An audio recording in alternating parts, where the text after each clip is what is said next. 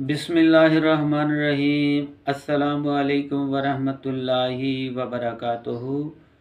दोस्तों, जिन दोस्तों ने अभी तक हमारे चैनल को सब्सक्राइब नहीं किया बर मेहरबानी, वो हमारे चैनल को सब्सक्राइब कर लें और साथ ही बेल आइकान बटन को दबा दें ताकि हमारी लेटेस्ट से लेटेस्ट वीडियो उन तक पहुँचती रहे। तो दोस्तों, आज आपसे मैं जो डिस्कस करने जा रहा हूँ, वो है औरतों में मेंसेस का ज़्यादा आना।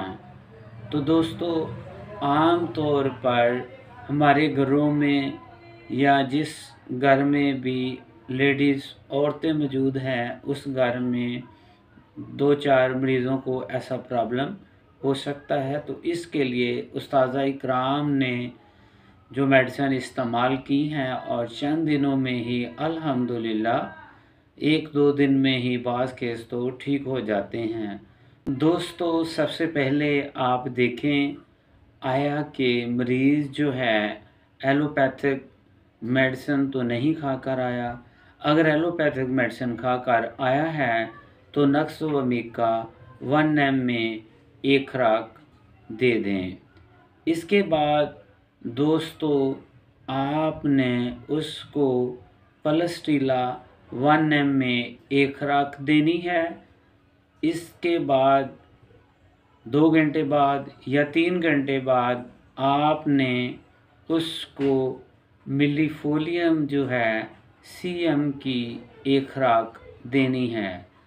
इसी तरह इसके एक दो घंटे बाद जो है सबाइना वन एम में एक खुराक दे दें। दोस्तों इन मेडिसन के साथ साथ अब आपने थर्टी पोटेंसी में जो कि मेरे उस्ताद मोहतरम जनाब शौकत बखारी साहब फैसलाबाद से हैं, उनका बहुत ही मुजरब नुस्खा है। आया कि किसी का इसकात हमल हुआ है प्रेगनेंसी जो है ज़ाया हुई है, या डिलीवरी के बाद जो है ब्लीडिंग नहीं रुक रही तो उसके लिए या आम तौर पर ब्लीडिंग ज़्यादा हो रही है तो आपने थर्टी पोटेंसी में एरीजरन थर्टी पोटेंसी में सुबह दोपहर शाम तीन टाइम इस्तेमाल करनी है। इसके साथ साथ अल्टरनेटिव के तौर पर स्केल कार थर्टी जो है, आपने सुबह दोपहर शाम इस्तेमाल करनी है। दोस्तों ये चंद मेडिसिन हैं, जो आप एक दो दिन ही इस्तेमाल करेंगे तो आपका मरीज़ ठीक हो जाएगा।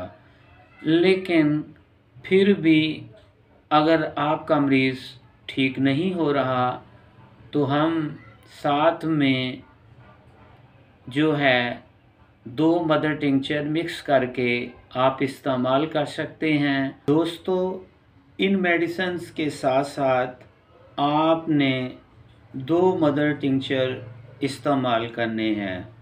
नंबर एक, ट्रिलियम मदर टिंचर नंबर दो, एरीजरन मदर टिंचर इन दोनों को आप मिक्स कर लें या दस कतरे उसमें एक मदर टिंचर से, दस कतरे दूसरे मदर टिंचर से, हाफ़ गिलास पानी में सुबह दोपहर, शाम तीन टाइम इस्तेमाल करेंगे तो इन शज़ीज़ आपका मरीज़ चंद दिनों में ही ठीक हो जाएगा।